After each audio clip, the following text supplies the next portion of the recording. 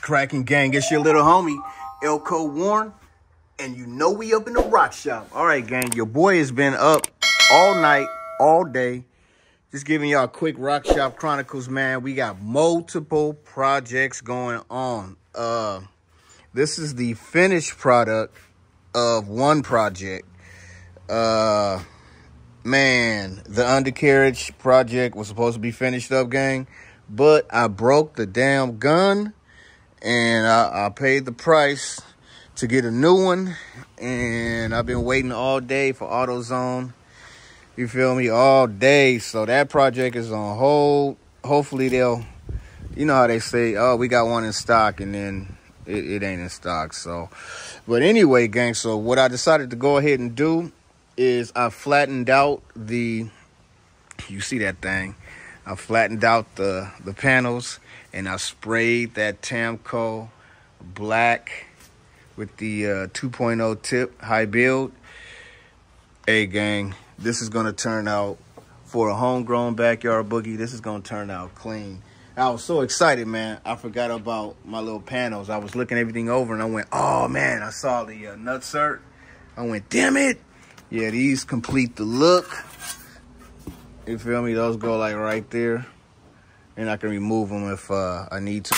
So we're going to clean those up. Those don't need to be body work, gang. I'll probably just rattle can those with some, uh, with some, uh, what is that? Some uh, chassis black, roll bar and chassis from VHT, just something. Because if I'm taking them on and off, they're going to get scratched up. So what the hell.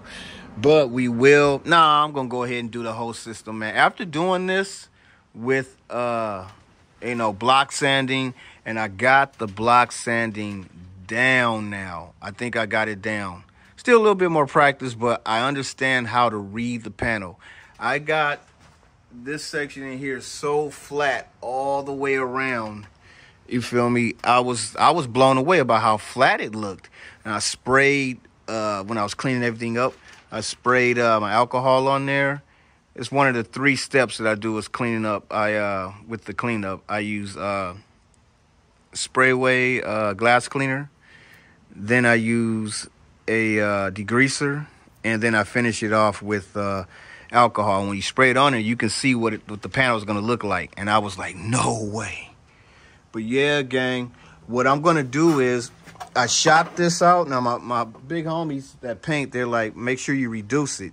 When I go to spray the final primer, uh, I might reduce it, but I like I like the orange peel. So I want to shoot, I want to flatten this back out. This is already flat. I just need to hit it with 400, 600, 800, and we golden. But I don't want to, I don't want to mess with this area. I want the orange peel to stay there because it's going to give it a, a different look. You feel me? So this will be flat and wet. This area in here will be flat and wet. And then surrounding it will be in the orange peel. See, and then that flows right into the orange peel down there. You see what I mean? This is actually going to get redone. This is redone, and it came out amazing. But I ran out of, uh, I ran out of, uh, well, I ordered two of the wrong bottles. So the two bottles are tintable, and I picked up some tint that has uh, a flake in it. So I'm dying to see what that looks like. But up front, we look good. And what I wanted to do is I wanted to create a line right here, all the way up, all the way over. You feel me? Now all of this, all the way up, up top there, all in here is all going to be the uh, U-POL, and it'll just flow into it. That's why I wanted to leave this with the orange peel look. But gang, let me step back. Now what you're seeing here is a shadow. You see that line? It's not tiger stripes. It's a uh, shadow. Now, I sprayed a lot extra in this area because I had to work this this and over here I had to work right there because uh that's where the uh where I welded and I got that perfectly flat but I just put a little bit of extra there I soaked it that's where I first put it down there First put it down there, sprayed, and I came back, put some more down, and then I sprayed the whole thing. It looks like I bumped up against it with the gun, but I'm not sweating that because this is where the weather stripping piece goes. But yeah, gang, and I think I missed something back there. Yeah, gang, we uh I'm really, really digging it. That Harbor Freight gun, you can get a decent paint job out of it, but I'm just using it for primer only. That's it. I'm actually going to get the uh, Eastwood gun. They have a, a, nice gun that's really good for clears and uh, base coat. So we're going to go with that to spray. This is like 200 bucks. I'm, I'm just going to copy. But yeah, yeah, yeah. I'm taking what I've learned here and I'll be applying when I got to redo this out here. I now see how to wet sand, how to flatten it, you know, what to look for. You feel me? It's like, oh man, this has really been an amazing learning experience. And normally, gang, I, I don't like the, the stuff that I do. You know, it's a long, drawn out process. The end results, I'd say 99% of the time, gang, they turn out really decent for a homegrown with, you know, backyard boogie with no formal training on any of this. Just watching a gang of videos, watching the homies get it in and saying, man, I'm going to give it a shot and take my time. And that's why my videos are so long, gang, because I take, if you look through my videos, I take you through every step, me opening the packages, me, everything. You feel me? So you kind of get a user experience of what it is to go through this project. Am I doing this right? Maybe not, but I'm getting the end result that I want. You feel me? And uh, I'm really digging the way this turned. This is no filter. These panels are flat. Trust me, they are flat as hell. That block sanding I did. See, it's been me trying to figure out what to look for, and now I saw it and I went, oh man, the guide coat tells you everything. It shows, oh, see those little bitty, that area, that's that means it's lower.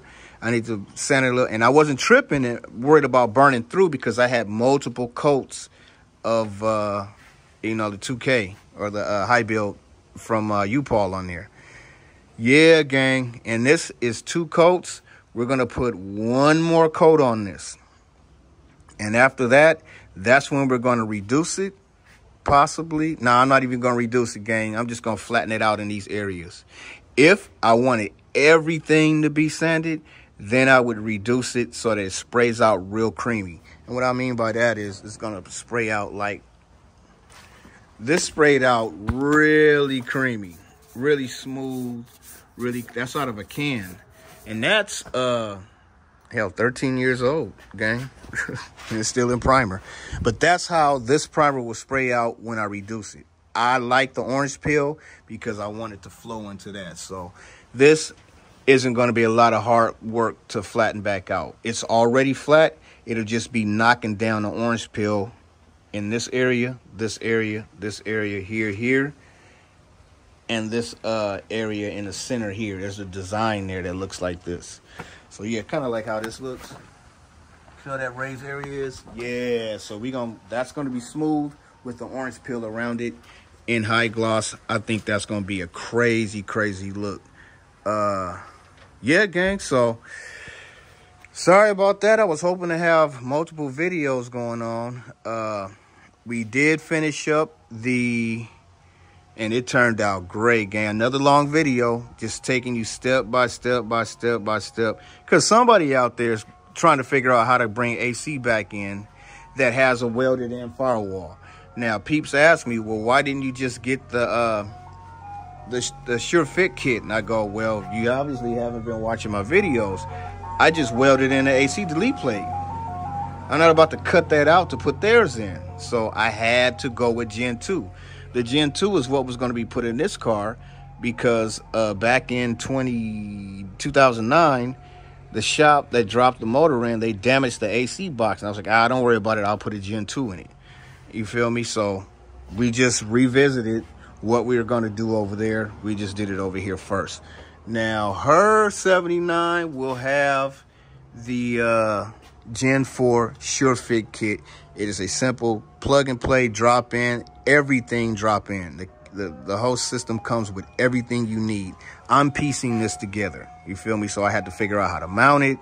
The mounting system for the Gen 4 is completely different from what, what you get here. This is a universal setup. So I had to figure it out and we got it dialed in and I'll show you everything I did in that video. But yeah, gang, I'm thoroughly loving this. For what we did on the U-POL, that looks amazing. I can see I got some of the primer over here. But yeah, gang. I am loving it. I was gonna drop my pieces back in, but I don't want to mess nothing up. So, plus I got the, uh, that's the uh, sound damp. I'm using that so no paint gets up inside. But yeah, gang, here we go. Just a quick little, little vid, let y'all know what's going on.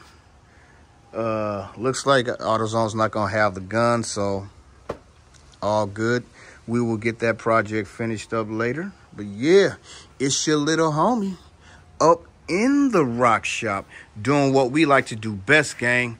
Rep 80s and most definitely keep it Chevy.